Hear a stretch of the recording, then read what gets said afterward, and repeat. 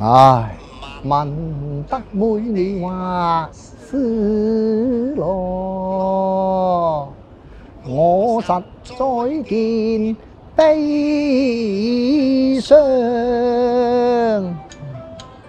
妹你為人呢？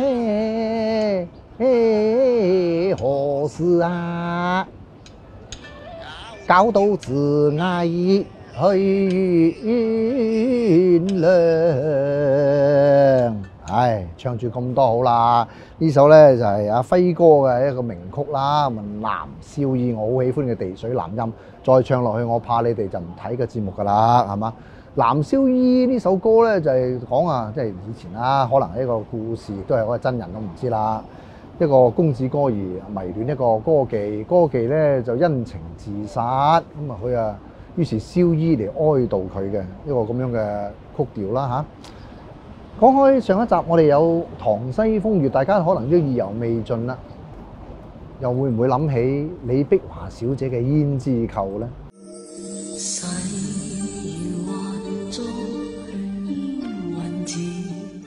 胭脂扣亦都係小説拍成電影，妹姐梅艷芳飾演嘅如花，同阿哥哥張國榮嘅十二少哀怨前面嗰啲故事，大家都仲記憶猶新嚇。有冇諗過劇中呢個人物如花可能係真有其人？而位於我身後邊呢度山道十五號嘅呢個位置呢，就係、我哋今集嘅主人翁花影恨以前嘅居所啦。花影恨呢個名有點詩意，亦都好似好有戲劇性咁。啊，其實佢嘅真人佢嘅人生呢，都係富有戲劇性嘅。花影恨佢原名就叫做朱秀珍，一個好普通農家少女咁樣嘅名啊。佢原籍就蘇州，蘇州就出咗名咧，係盛產美女。花影恨咧自細咧個樣係相當之標緻，大個咗咧都係一個美人嚟嘅。咁但係咧佢出身就比較不幸啦。大概喺佢細個嘅時候五歲到啦，佢嘅父親咧就逝世。咁因為咁樣咧，就屋企頓失呢個經濟嘅支柱。佢阿媽就兩母女就同佢相依為命。佢阿媽叫做韓九姑，咁啊出去咧就同人打工啊，做女佣啊等等咧就維持生計。咁直到花影恨啊，去到差唔多八歲嘅時候咧，佢有讀書嘅，所以都有一啲嘅文學嘅根底喺度啊咁。去到八歲冇辦法啦，都要絕學啦。後來咧就更加係淪落風塵添。嗱，好地地一個小女孩嚇，就冇人想淪落風塵嘅，咁啊都係為勢所逼嘅啫。咁後來就直接同埋阿媽咧就去咗廣州嗰度，廣州就出咗名嘅，有好多花艇啊嘛，啊珠江口一帶啊，好多花艇啊，好多上海岸都好有妓寨啊咁樣。當時係非常之興旺。花影恨咧就被賣落去啲妓寨嗰度咧，誒初時咧佢就叫做琵琶仔。嗱，啲咩叫做琵琶仔咧？琵琶仔咧就唔係妓女嚟噶吓，咁啊要賣唱嘅，要識唱嘢，要懂得唱嘢。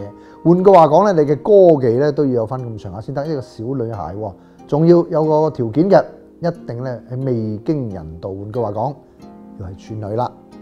咁啊講衰啲嗰句咧，就真係可以善嫁而孤噶。好多達官貴人啊，啲公子哥兒啊嚇，咁啊等等就會即係出個高價，希望咧就買咗個琵琶仔啲初嘢啊咁。冇幾耐咧，咪因為花影恨佢就歌喉了得，佢真係唱歌好好聽。頭先講過啦，蘇州美女啊，一樣啊標誌又生得靚嚇，好快就喺呢個花界啊，即係正所謂花界。啲花艇啊，咁嗰啲地方嘅妓寨咧就好出名。冇幾耐啊，喺個天然寨就被公選咧，就做一個花魁界裏面嘅榜眼。喺呢個科舉制裏邊，狀元就榜眼探花，啊榜眼即係亞軍噶咯喎。做咗榜眼都唔差啦。過咗一段日子，咁啊好多公子哥兒啊咁樣去追求佢。有一個咧官員喺廣州裏邊嘅官員啊。誒姓黎嘅出巨款幫佢贖身嗱，呢件事就真係，如果以一個歌姬嚟講咧，有人同佢贖身咧，就真係正所謂埋街飲井水，就希望可以嫁住好人家噶咯，有機有希望噶咯喎，從良啊嘛。咁但係咧呢、呢個黎姓嘅官員咧好唔好彩，佢有家室嘅，佢將阿花英恨咧就金屋藏嬌。啊，雖然阿家花英恨又即係其實即係作妾啦，係嘛，即係妾侍啦。以為可以都安安靜靜過啲好日子，誰不知咧呢個黎姓官員嘅屋企咧家有惡妻，一知道呢件事咧，哇！日日喺度嘈交啊，就甚至乎上門咧就揾阿花英恨算賬啊咁樣。咁啊不勝其擾之下咧，花英恨同阿媽咧就冇冇辦法啦，咁啊唯有脱離呢個姓黎嘅官員嘅保護底下咧，就落到嚟香港就繼續佢嘅生活啦。咪香港啦，當其時。唐西嗰度啊，呢個風月界就相當之興盛啦。其實嗰陣時，已經係三十年代嘅中啦。三十年代中咧，差唔多係抗戰時候嘅開始啊。誒，亦都可以話係接近唐西嘅嗰啲風月事業咧一個尾聲嚟。不過事業依然係好鼎盛。咁啊，因應花英恨佢嘅一流嘅歌喉啦，同埋佢嘅美色啦，好快好快一立足唐西。就成為咧呢個花國驚為天人一個天后啊！要講個花英恨咧，除咗你話好多達官貴人啊、嚇有錢佬啊不斷去追求佢，晚晚都好唔得閒之外，啊佢個人好有個性，女仔嘅貪靚啊，有陣時做歌姬貪錢啦，嗱冇話佢唔恨錢嘅，不過咧佢有啲嗜好就未必係個個女仔都中意。佢中意睇波嘅，換句話講，中意睇足球比賽嘅喎。咁啊閒時都中意去聽下大戲，因為嗰陣時嗰個年代聽大戲咧就係好多人嘅娛樂嚟嘅，娛樂嘅首選添啦。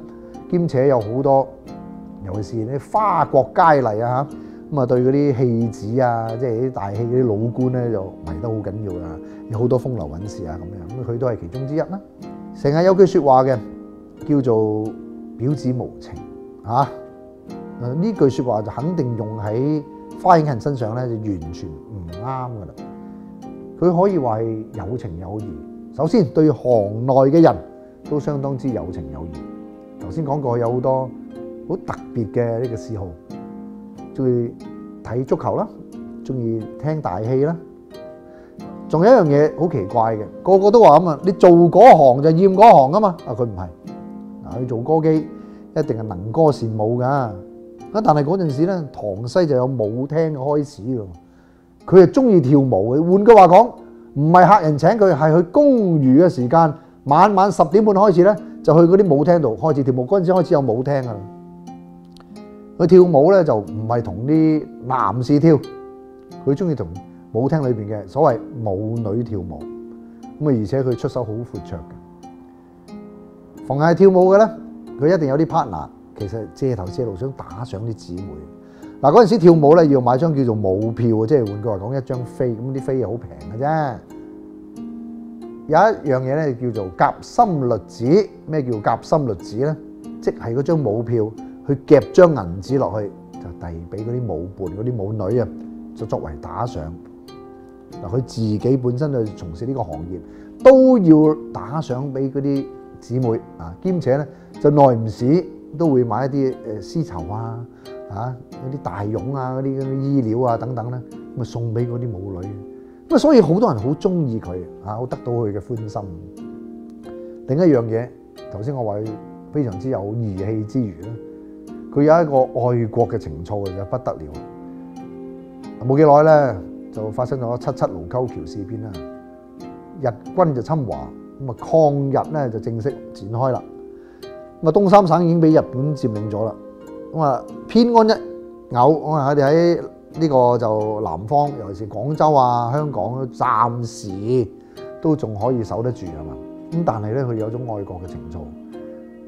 喺除咗花影恨之外，要另外提一位咧，就叫做寶玉啊。呢位女士咧，其實都係歌姬嚟嘅，即係喺塘西嘅一帶，當然就未及花影恨，即係咁有知識同埋即係咁出名啦，大受歡迎啦，係嘛？咁你點解要提呢個保玉女士咧？佢就誒，佢係一個發起人，就話要發起義唱，你知啦，去得唐西好多有錢佬達官貴人啊嘛，咁個個打賞啊，好捨得揮金如土啊咁。佢就舉行義唱，就號召咧所有，我唔理你邊間仔乜嘢聽都好，總之你唱得歌嘅就冚唪唥上台義唱啊，無分彼此，就籌款喎、就愛國籌款啊，真籌款啊，就俾內地啦國民政府咧俾佢哋用，即係一個應援啦咁樣嘅籌募資金。前後咧就總共做咗八次嘅籌款義唱，咁花影人咧當然係義不容辭啦。先後咧有三次有冠亞軍，都係咧即係輪流俾阿花影行咧就係、爭奪咗嘅。咁啊唔單止係咁，當然好多人俾面佢啦。你一定要歌藝好，第二就係話捐錢嘅數量要多。咁啊每一次佢出場咧個款項咧一定係過千大元啊！嗰陣時嚟講戰前啦戰時，千大元就好緊要。唔單止咁，花影行曾經私底下咧就捐咗七百蚊出嚟咧做善款嘅，咁啊足見佢嘅愛國嘅情操同埋個熱心喺度咧。但係佢就好多愁善感，冇幾耐咧，之前佢咪喺廣州遇上個同佢熟身個姓黎嘅官員，個官員知道佢嘅行蹤咧，就偷偷地有幾次因為公務咧落嚟香港都會探訪佢，佢就不勝其煩，佢就覺得。唉，我都抌低咗呢段感情啦，亦都係唔想惹咗呢啲咁嘅是非啊咁，咁就好煩佢，即係成日都三番四次就推咗呢個官員，直到誒三九年嘅七月進行最後去嗰一次參加嘅誒義唱之後咧，佢就已經係退休狀態，佢好多嘅誒、呃、應酬啊都推咗。咁啊，工作更加都話，因為自己身體唔舒服就推。嗱，報章咧有咁樣引述，就話嗰一段期間已經係成日悶悶不樂嘅，但係點解咧又唔知，佢又唔係話有病。咁啊，總之咧喺嗰啲舞廳啊，佢中意跳舞嘅舞廳啊、唱歌嘅地方啊，唔已經唔見到佢嘅蹤影，就終日咧喺屋企嗰度，耐唔時咧咪同個阿媽咪出去睇睇足球啦、睇大戲啦咁。去到十一月尾嘅時候，報章報道咧就有一晚。咁啊，花影行就同阿媽就行去太平戲院。佢當時住喺呢個山道啊嘛，山道就距離太平戲院咧就其實兩三個街口，好近。佢就好中意睇馬師曾演戲，命令馬師曾啊。馬師曾當晚演出嗰個戲咧就叫做《龍樓鳳閣變歐蘭》。咁啊，據講咧，佢睇完戲之後咧就入咗後台見馬師曾。咁當時好多。係有呢個慣例嘅，就算你演出前或者演出後咧，即係好多人中意探班咁入去啊，見下個老官又唔係真係個個入得去㗎。咁總之入去啦。睇完戲探完馬師曾之後就翻咗屋企，咁佢阿媽韓九姑同佢一齊睇戲嘛。睇完之後咧，佢阿媽咧就去打通宵麻雀喎，揾鄰居。咁啊，花影行咧就叫咗個工人咧就落街買宵夜俾佢食，仲好記得係食咩咧？呢個豉油雞啦，又買咗啲白酒啦，買一支汽水啦，咁樣俾佢飲。食完之後大概凌晨一點咧，咁佢就即係就枕啦。到到第二朝啦，咁佢阿媽翻到嚟啊，咁啊起身叫佢起身啦，或者早食早餐啊之類，一拍極佢都唔醒。咁睇下大件事，就發覺花影行唔單止叫唔醒，成個身凍晒，口吐白沫，跟住香消玉殞，咪一命呜呼。即刻就即係叫十字車啦，送去瑪麗醫院嗰度搶救都無效。證實咧就係佢吞食呢個生鴉片而死嘅。喺嗰個年代咧，就好多人都會吸食鴉片啦嚇，亦都係會利用生鴉片啊。鴉片咧佢哋要經過燒過噶嘛嚇，然後即係吸食嘅。生吞生鴉片係會死嘅，咁啊好多人咧都係用呢個方法去自尋短見。咁當然佢嘅逝世咧，令到即係花國啊，即係塘西嗰一帶咧，好轟動啦，個個都甚為惋惜啦。好多傳聞咧就係話，誒佢迷戀馬思曾，亦都有一段風流韻事咁。咁有啲甚至言之凿凿，就話佢入到後台嘅時候咧，見到馬思曾咧就同另一個女子喺度親熱咁。啊呢啲嘢人言人殊啦，究竟可唔可以做到咁？即係你啱啱做完戲，嚇 做完戲仲喺後台，仲可以噏。呢樣嘢係匪夷所思嘅，咁啊兼且咧，其實嗰陣時嘅報章都有引述啦，引述啊韓九姑咁啊證實咧就係話喺嗰一段期間，其實花影行咧就冇工作，兼且咧就成日都係悶悶不樂噶啦，咁所以呢個傳言我都覺得係未必即係盡盡可信賴嘅。無論點啦，花影恨啊就咁樣玉殞香消。佢嘅死亡嘅消息傳開咗之後咧，咁啊戲曲界啊、啊啲花國名廳啊、嗰啲舞廳啊等等咧，都為佢搞呢個追悼啦。亦都有一位嘅有錢嘅商人咧，係捐咗五百大元出嚟咧，同佢購置棺木。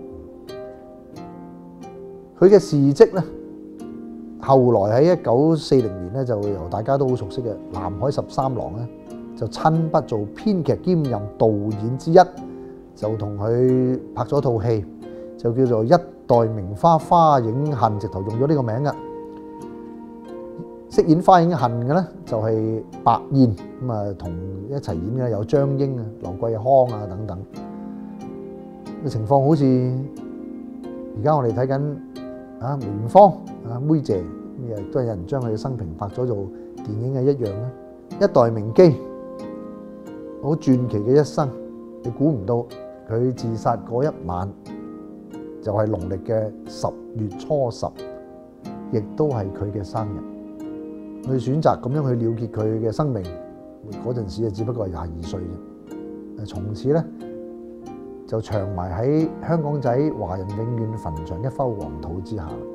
以上咧就係一代名妓花影恨小姐嘅傳奇故事啦。大家中意我講多啲舊香港嘅故事咧，記得俾個 like 我啦，同埋分享俾你嘅朋友，幫手睇埋啲廣告啦。多謝。